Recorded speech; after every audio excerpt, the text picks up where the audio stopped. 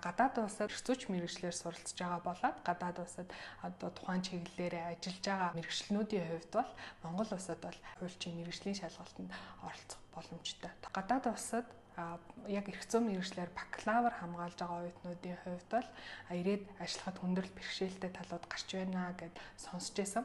Ирээд ажиллахад манай Монгол улсын хууль тогтоомж өөр те харьцуулан судлах ч юм уу ийм шаардлагатай байдаг. Тэгэхээр ирж байгаа оюутнууд маань хоёр зам сонгодог юм шиг санагдаад зарим нь бол хуулийн сургуульд дахиад одоо ичнэгээр ч юм уу суралцаж одоо мэдлэгээ баяжуулах. Зарим нь бол зөвхөн шууд ажилд ороод харьцуулгын байдлаар ингээ ихний ээлжинд өөрийгөө одоо эхнээс нь одоо одоо бэлтгэж сурах юм боломжтой. А тэрнээс шал огт хэцүү юм а гэдэг байдлаар ерөөсөө тийм ойлголтыг бол авч болохгүй огт болдгүй юм байна гэсэн ойлголтыг ч гэсэндээ авч болохгүй.